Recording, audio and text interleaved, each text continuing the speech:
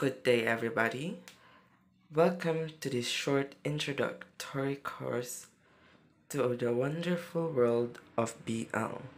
I am your presenter, Eugene Aquino.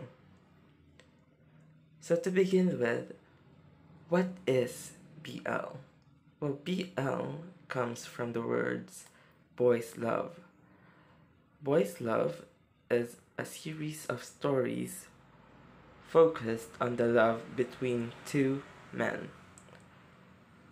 It was originally made for women, or it was originally marketed towards female readers, although not all readers or consumers of BL are women, but it was first intended for them.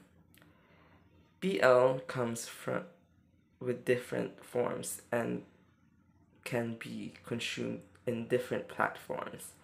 There are web series, manhwas, light novels, and such. These are some popular terms when you come across a BL. First is the seme, or the one in the top position. It is typically associated with the dominant one in their relationship. Although this is not always the case, but it is mostly like that in some or most BL couples. And the next one is the opposite of the seme, called the uke or the one in the bottom position, or the receiving one in the relationship, if you may.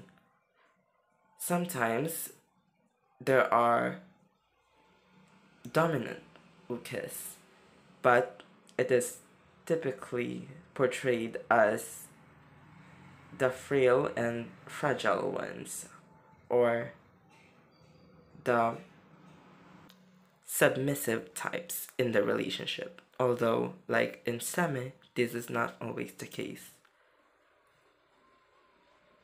So to show some examples, here are some popular BL manhwas and TV series like The Green